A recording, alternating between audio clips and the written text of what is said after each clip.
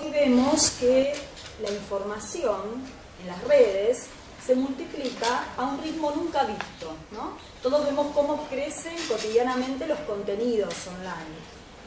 Y hay una autora norteamericana, Susan Blackmore, que plantea que esta gran cantidad de información y creciente cantidad de información en las redes es producto del proceso de copia, que se ve potenciado y favorecido por la lógica de la comunicación digital. Eh, la copia, digamos, se va realizando de usuario en usuario a través del versioneo y en realidad algunas variantes de esas copias que realizamos sobreviven, no todas sobreviven, ¿no? Algunas cosas se reproducen, nosotros tomamos de otras producciones y los distribuimos esos contenidos en nuestras propias redes.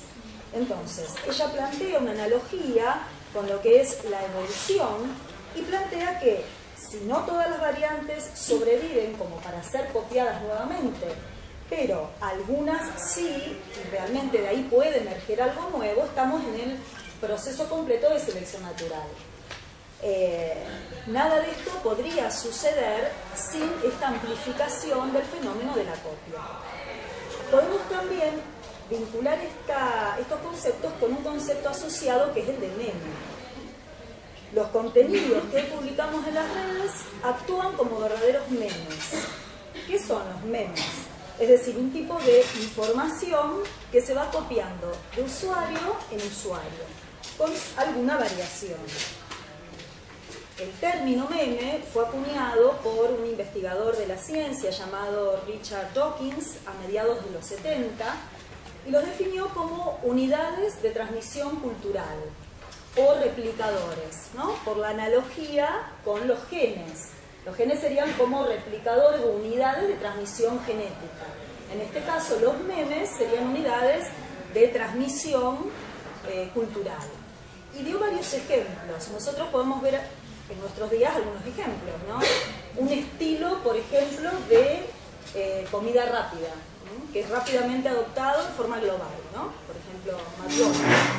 O un estilo y una manera de hacer películas, ¿no? Acá, mundial.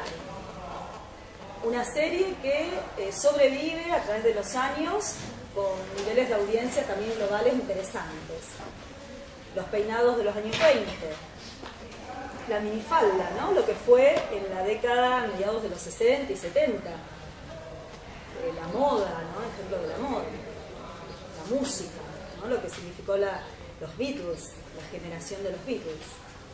Pero a la vez, lo que esta autora plantea es que hoy las computadoras están alojando grandes cantidades de información y en realidad son las máquinas mismas o determinados tipos de software los que están reproduciendo información sin la intervención humana en eso.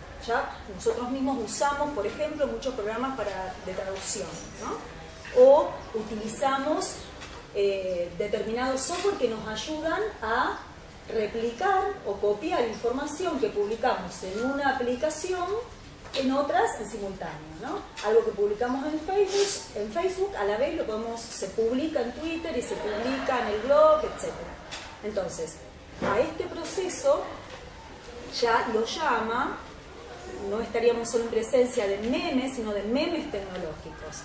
Y acuña un término que se llama temes, que denomina temes, como para empezar a pensar este lugar que están teniendo las máquinas en nuestra eh, producción de contenidos. Toda esta descripción que hacía Silvana crea un nuevo ambiente. Y la hipótesis que nosotros trabajamos es que las comunidades crean nuevos tipos de contenido.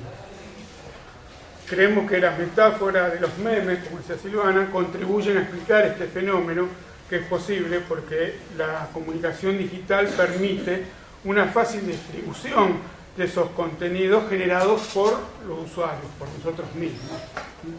Hoy, gracias a esta tecnología, permite una producción y distribución muy fácil.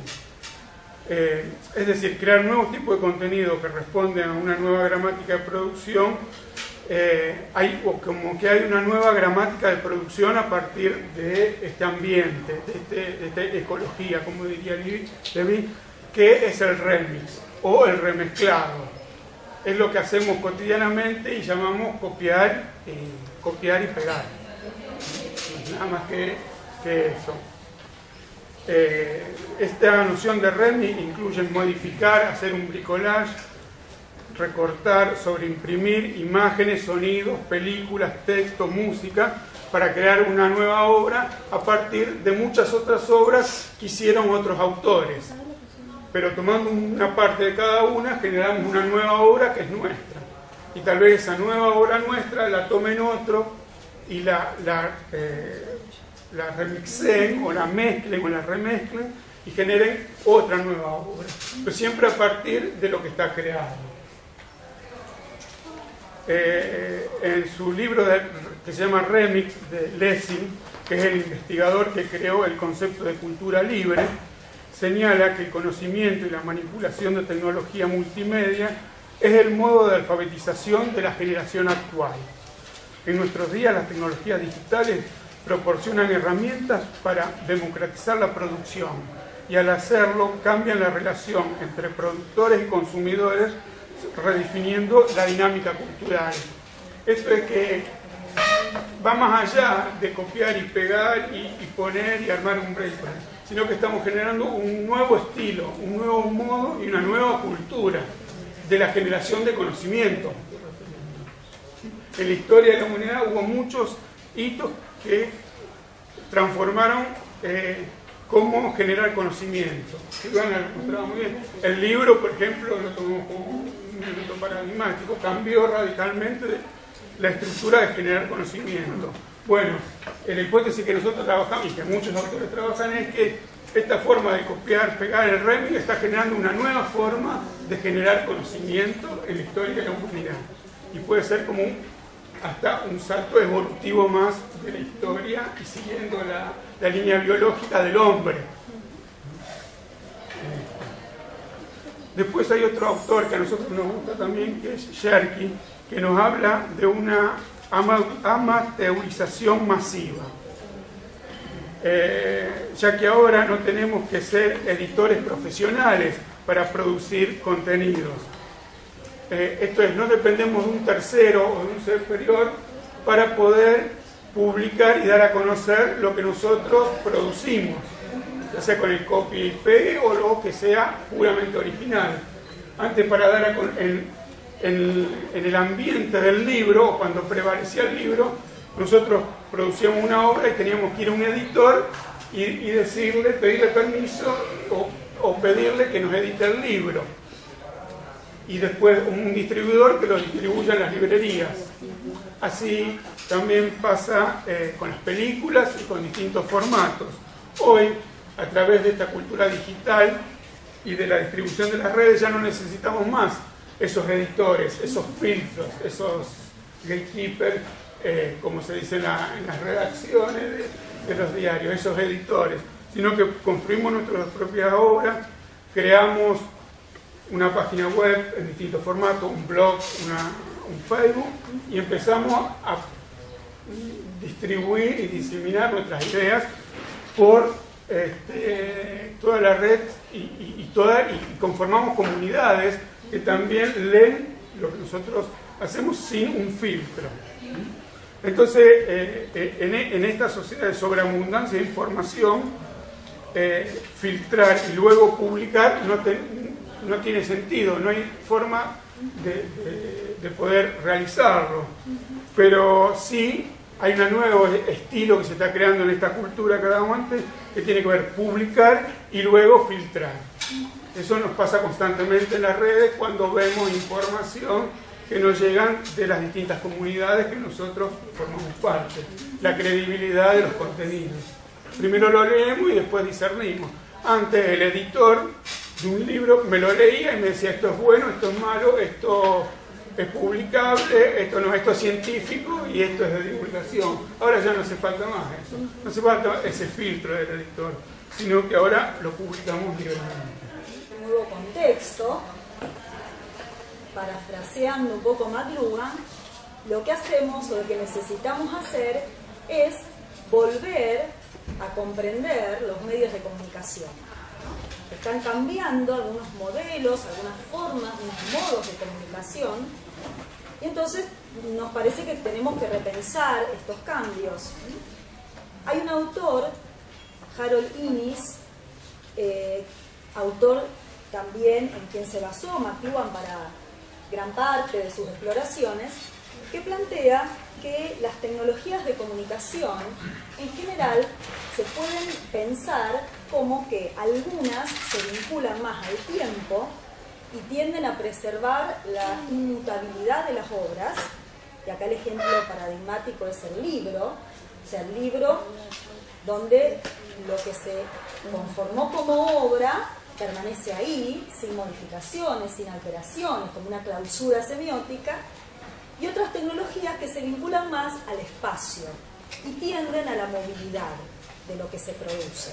Y en este caso, el ejemplo mm, claro es Internet, hoy acentuado por las redes y por la, facilidad, como explicaba Pani, con la cual podemos publicar y ponernos y distribuir nuestros contenidos.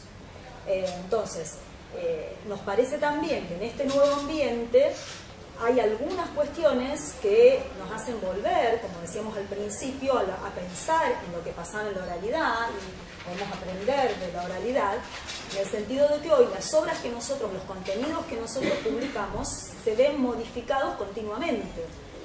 Y se ven en ese sentido también, tienen mucha movilidad, eh, además de la posibilidad de no depender de espacios físicos estructuras de distribución a lo mejor regionales para poder acceder a las obras.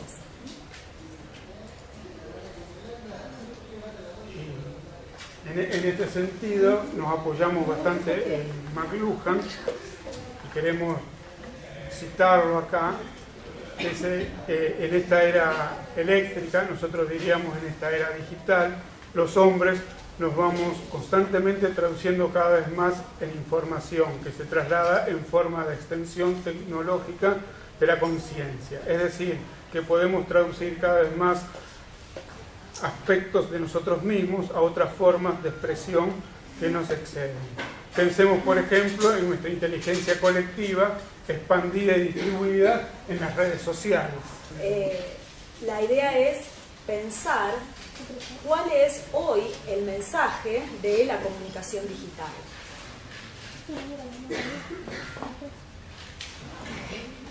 Vamos a terminar acá, nos reímos porque en realidad el mensaje parece eh, una incógnita. ¿Dónde está el mensaje? ¿Dónde está el mensaje? por ahora no está.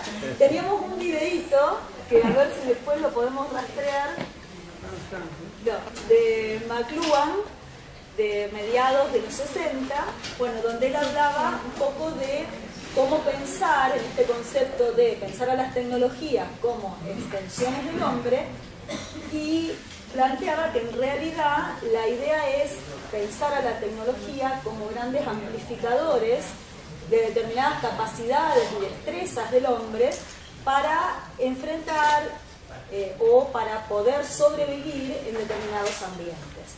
Entonces, en esa línea de pensamiento, eh, las tecnologías, eh, y digo en esta corta historia de la comunicación digital, nos van preparando para poder sobrevivir en el nuevo ambiente.